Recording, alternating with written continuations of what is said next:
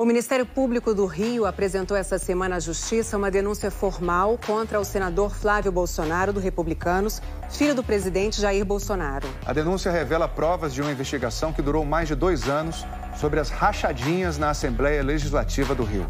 No esquema, funcionários da Alerj devolviam parte dos salários a um grupo supostamente liderado por Flávio. Você vai conhecer detalhes inéditos de um depoimento que foi determinante para embasar a acusação.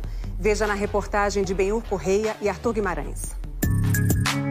Quem é uma das investigadas que resolveu ajudar o Ministério Público com provas contra Flávio Bolsonaro e o grupo que atuava, segundo o MP, para desviar dinheiro da Alerj? O nome dela é Luísa Souza Paz. Quando tinha apenas 20 anos, em 2011, ela foi nomeada assessora parlamentar no gabinete do então deputado estadual Flávio Bolsonaro. Ela era vizinha de Fabrício Queiroz, apontado como operador financeiro do esquema no bairro de Oswaldo Cruz, subúrbio carioca. Além disso, segundo o MP, Fabrício Queiroz jogava futebol com o pai de Luísa num time amador, o Fala Tu Que Eu Tô Cansado.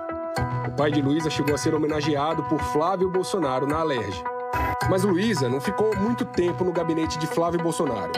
Oito meses depois da nomeação, foi transferida para outro setor dentro da Assembleia, na TV Alerj, que transmite as sessões da casa. Mas o departamento em que ela passou mais tempo foi de planos e orçamento, ligado à presidência do Legislativo Fluminense, de onde ela continuou a repassar a maior parte do salário mensalmente para Queiroz, de acordo com a denúncia. Ainda segundo o MP, Luísa foi uma das integrantes que mais transferiram recursos, 155 mil reais. Dos salários, que chegaram até 4 mil reais, ela ficava com no máximo 800 reais. Isso aconteceu durante cinco anos de trabalho, quer dizer, suposto trabalho. Luísa era funcionária fantasma e não era a única. O que o Ministério Público apresentou na denúncia foi um levantamento de dados para provar que, além de Luísa, outros 11 assessores ligados a Flávio Bolsonaro transferiam boa parte do salário que ganhavam na Assembleia do Rio para Fabrício Queiroz. Esses assessores seriam parte do núcleo executivo do esquema, a base que estruturava toda a movimentação financeira do que o Ministério Público chamou de organização criminosa por meio desses repasses, feitos muitas vezes com dinheiro vivo. Os valores chegavam até o que os investigadores chamaram de núcleo operacional, onde ficava Fabrício Queiroz, quem mexia com o dinheiro, e Miguel Ângelo Braga Grilo, chefe do gabinete de Flávio Bolsonaro desde a Assembleia do Rio e que continua com ele no Senado responsável por gerir os assessores. Só depois, segundo a denúncia, esses recursos chegavam até Flávio Bolsonaro, o que o MP considera como núcleo político. Para evitar que deixassem rastros, Luísa e os outros membros da organização sacavam o dinheiro e depois faziam depósitos em pequenas quantias, para não precisarem se identificar na hora da transferência. Segundo a denúncia do Ministério Público, o esquema movimentou 6 milhões de reais ao longo de 11 anos. Ainda segundo o MP, Flávio e a mulher, Fernanda, usaram o dinheiro vivo para pagar empregados, passagens de avião, quitar contas e até mesmo comprar apartamentos. Em 2011, o casal foi para a cidade de Natal, no Rio Grande do Norte. Eles pagaram mais de 2 mil reais em dinheiro vivo para a companhia aérea. De acordo com a denúncia, eles gastaram quase um milhão de reais a mais do que receberam entre 2010 e 2014. O Ministério Público diz que, para tentar despistar as autoridades, boa parte do dinheiro não entrava nas contas do casal. O MP diz ainda que Flávio Bolsonaro, apesar de levar uma vida confortável, gastava menos de 200 reais nos cartões de crédito por mês, em média. Quase tudo era pago com dinheiro em espécie. Para comprovar que Luísa e os envolvidos no esquema eram funcionários fantasmas, o MP levantou dados dos celulares deles. Através de um mapa de calor que rastreia os pontos onde o celular é mais utilizado, identificaram que vários assessores de Flávio Bolsonaro na Alerj raramente iam à Assembleia. A denúncia afirma que no celular da ex-assessora Luísa foram encontradas trocas de mensagens com o pai, quando as primeiras investigações começaram a sair nos jornais. Caraca, tu viu alguma parte do jornal hoje, hoje de tarde? Bateu direto naquele negócio do Queiroz. Direto isso. A foto dele estampada na tela do jornal hoje. Agora deu ruim. Ao saber que também era alvo das investigações, relata o MP, Luísa perguntou ao pai sobre o que fazer com os recibos de depósitos feitos a Fabrício Queiroz e falou sobre encontros com o advogado de Queiroz e também com o então advogado de Flávio Bolsonaro, Luiz Gustavo Boto Maia. Boto Maia também era funcionário da Assembleia do Rio no gabinete de outro deputado e, segundo o Ministério Público, atuou junto com Queiroz, orientando diversos envolvidos no esquema da rachadinha para que não comparecessem aos depoimentos e combinassem as versões que seriam contadas às autoridades. A denúncia revela que, nas mensagens no celular de Luísa, o pai dela demonstra preocupação com a situação da filha.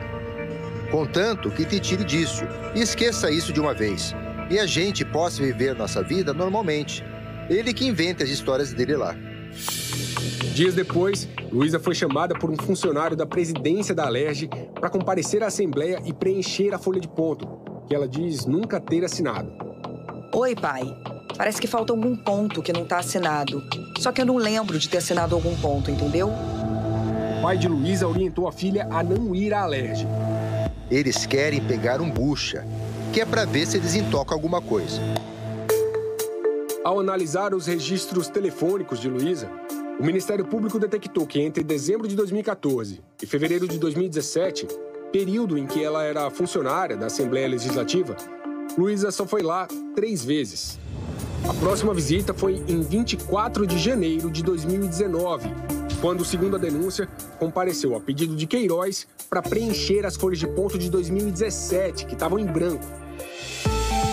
Lá, ela teria sido orientada a fraudar os documentos para tentar despistar as investigações sobre funcionários fantasmas no esquema das rachadinhas.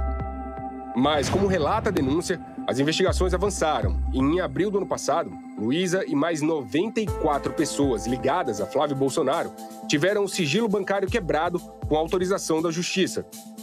Já viu as notícias? Quebraram o sigilo bancário de um monte de gente, provavelmente o meu também.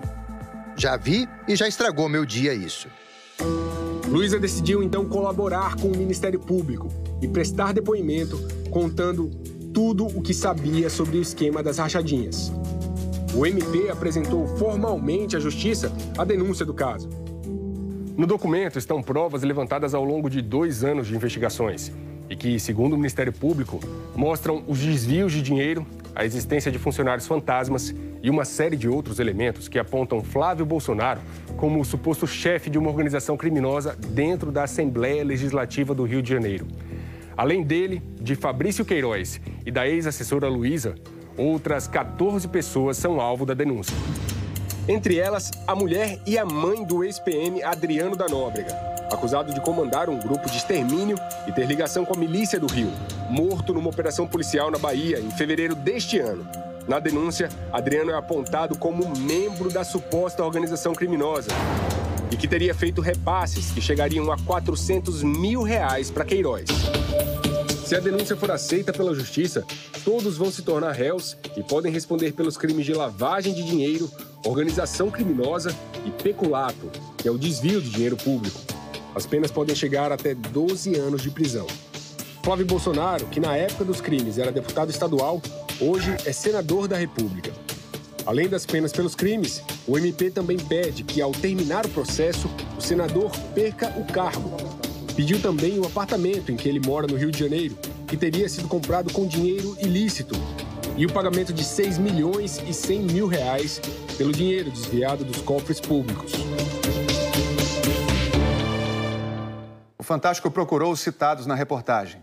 Em nota, a defesa da ex-assessora Luísa Souza Paz disse que ainda não foi notificada da denúncia e que não vai comentar o caso. A defesa de Fabrício Queiroz disse que as acusações não correspondem à verdade e que a inocência dele será devidamente demonstrada. A defesa de Miguel Ângelo Braga Grilo, Fernanda Bolsonaro e do senador Flávio Bolsonaro disse que a denúncia não passa de uma crônica macabra e mal engendrada e que vai se manifestar na justiça assim que for notificada.